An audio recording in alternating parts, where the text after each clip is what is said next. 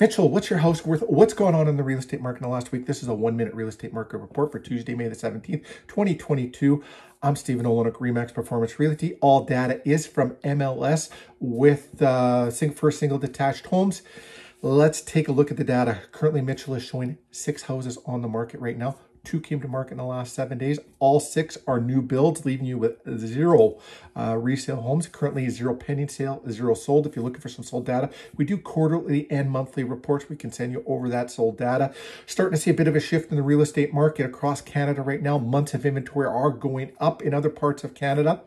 Not here in Manitoba, we are seeing them still go down. We do expect to see that change, but what does that mean for the value of your home? Should you be listing right now? Let's have a real estate related conversation. We can go all go through all the data and you can make an informed decision on what you'd like to do. Thanks for watching, Mitchell. Tune in next Tuesday again for our next weekly report.